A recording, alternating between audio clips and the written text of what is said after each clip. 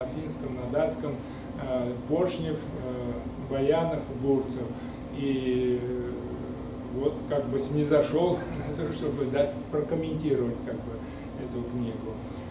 Вот что касается ЗАНа. Если есть у вас добавление, пожалуйста, Александр Иванович, вы Я можете сказать, спросил, что... вы, вы вспомните, у вас есть листочек старый, антропометрические данные по э, этому самому, по, по скелету, не черепу, а скелету, который Поршнев вы, выкопал.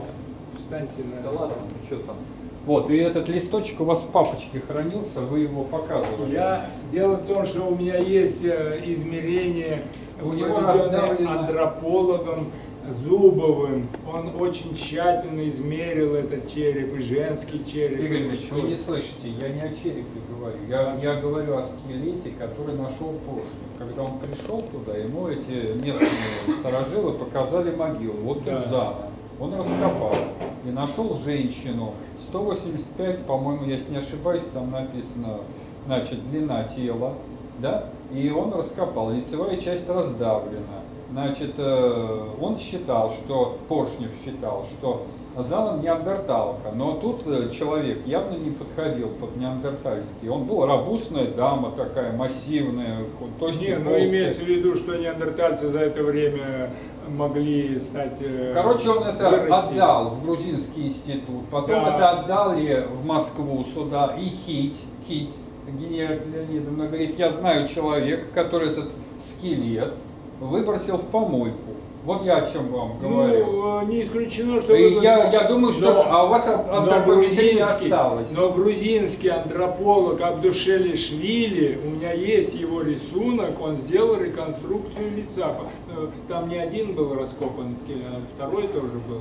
Э, по- Может быть, по второму. Первый, да, часть лицо- раздавлена. лицо- она не раздавлена была, она была разбита лопатой. Когда раскапывали, Ну, лопатой может, разбили да, да, лицевую часть. А что можно сказать? Ну, если Не, лицо ну, разбито, уже не Собрать осколочки, склеить, посмотреть, Ну, ну, вот и что то можно сказать. было. Просто если его в помойку выкинули, это уже ничего не скажешь. Ну, наверное, вот такое выкинули. впечатление, что Зану выкинули в помойку, просто реально. Не знаю, посмотрим. Вот это Ну а что смотреть-то, уже нечего смотреть. Почему? А папа, если говорят, что вот у этого черепа родственный, а, это родственный Но это череп не убитый, родственник, Игорь Дмитриевич, это не родственник, Ну, это не героид, а тот, э, ну какой это родственник, это, ну, Ну, может смешно. быть, может быть. Я не могу на сто процентов. Ну, Игорь Ильич, ну зачем ложный, это. ложный, ну, не родственник, абсолютно. Нет, это э, я говорю о том, что три, три генетика исследовали этот череп, два сказали, что это родственные черепа, один сказал, что нет между ними родственной связи.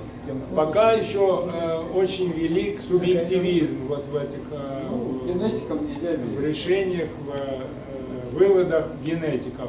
Подождем, что скажет Том Гилберт из Дании. Подождем другие, что скажут. Вот я так к этому отношусь. Я не могу сейчас сказать на сто процентов, что это не она или это она. Игорь Ильич, я прошу вас, найдите этот листочек, антропометрический, один листочек у вас в папочке лежит.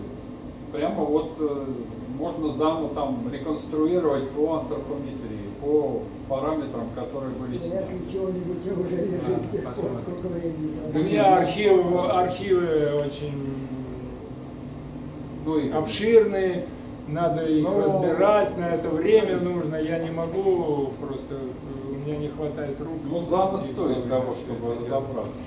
Ну, будем разбираться. Все, спасибо за внимание. А, больше никто ничего не хочет добавить по этому поводу? Я бы добавил, но Да, ну добавь. вы будете возмущаться. Ну что ж, не буду возмущаться. но Такова взгляд, наша доля, что мы не согласны. Другом. которая, так сказать, в этой легенде существует, она, в общем-то, человек. Мог и какой-то малаец или там аф- африканец, э, австралоид попасть теоретически в эти места. Ну, мало ли как жизнь складывается. Куда-то перевезли, захватили, рабыню сбежала. Это, в общем, вполне может быть то, что у нее элементы астралоидности какие-то есть. Это может так и есть. Но какое-то отношение к лешему имеет. Так, вот я и еще, вы меня сразу натолкнули на мысль, на меня, блин. А, Дело в том, что а, вот э, в 2015 году я поехал, да, вот генетики мне сказали, что важно исследовать потомков по дочерней линии, по женской линии. Вот э, Хвит сын был Заны, и Джонда был сын, и их потомки уже как бы по сыновней линии, это очень трудно там восстановить генетику. А вот если вы найдете э, по линии дочери Заны, то это гораздо упрощает задачу. И вот я искал как раз э, двух э, женщин, которые умерли, это были дочери, дочери, дочь, дочери Заны, то есть внучки Заны по э, женской линии. И э, там такой человек Бгамба, значит, Александр Гамба, он меня вывел на это место, мы с ним поехали, он показал, где были захоронены эти две дочки, в Меркулах, в Абхазии есть э, такое место, но оно по-местному называется Моркуа, по-русски называют это Меркулы, и он показал, где они захоронены. Между ними, между их захоронениями там расстояние где-то метров 500, э, они в разных местах, но там очень глухое такое место, там уже не сохранилось это кладбище. В принципе, можно найти э, эти захоронения. И что интересно, вот на могилы, над могилой одной из них, которая пониже была, я обнаружил несколько строений вот этих вот конструкций, заломов, э, фигур, то есть не исключено, что до настоящего времени там эти самые существа обитают. Но их и видели.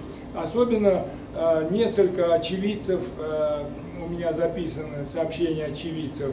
И в одном селе, в армянском селе, там в Абхазии я был, там э, рассказывали о случае наблюдения этих существ. Так? В, другом, э, в другом месте тоже, вот даже недалеко от Сухума, есть э, район Агудеры, а рядом там очень много армян живет. Они тоже видели.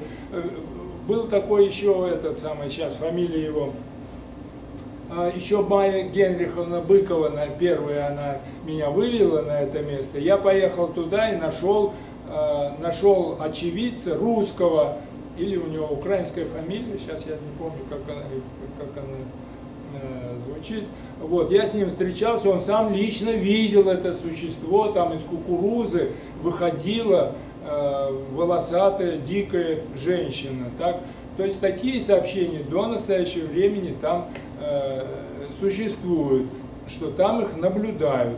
Ну и совсем недалеко, в районе Сочи, вот недавно даже э, следы сняли, э, там видели эти существа. Так что, э, конечно, может быть, э, ну я не, я не могу сказать, что это может быть какой-то малаец, который в лесу живет, вдруг его поймали, э, приручили, начали с ним жить там и так далее. В, в ограде он жил.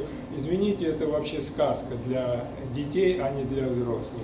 Так что это не может быть какой-то там малаец, который попал э, в? Э, местным охотникам. Вот у нас Пушкин, потомок эфиопского там какого-то. Ну, ну что мы сейчас будем какие-то аналогии проводить? Игорь а, погодите. Можно сколько угодно аналогии Нет, проводить. Значит, исключать того, что туда случайно попал, так сказать, какой-то астероид, нельзя. Это раз. Вот. А но самое главное другое. Ну, какое имеет там значение эта история Зана, если это человек, у него прекрасное человеческое потомство, это не может быть наш, так сказать, объект поиска лешего. Понимаете? Да ну, это обычный человек. У него сверхчеловеческие ну, способности. Нет, вот. не у всех. Вы никак не хотите это признать. Нет, это вы не хотите признать, что если вы посмотрите, например, описание там Леонтьева Хатоведа, ну, вы же я помните. Не, не буду спорить. А ну что спорить? Потому что сказать нечего. Это обычный человек. Так, ну, если вам так нравится, далекой расы. пусть будет обычный человек. Если это неандертальцы, то Ну какой неандертальцы? Все неандертальцы череп, как у нас, ничем не отличается. Как у неандертальцев? Ну особо не отличается. Ну, это мелочь. Да, я не знаю, ну что мы сейчас спорим, а, ну, о чем неизвестно. Давайте посмотрим, что, что скажет ну, да много чего. Генетический анализ. Вот единственное. Ну, что- правда, Весь строить. фольклор говорит, что у них даже потомки от них есть. Это нельзя опровергнуть. Это настолько все сходится одно с другим. Ну. Нет, это ну, Ну что очень сходит? Вот, вот потомки. Это- это- На обычные люди. Это подвиды даже. Если даже виды, это как эти самые а, Какие волки и эти, как они, Собаки.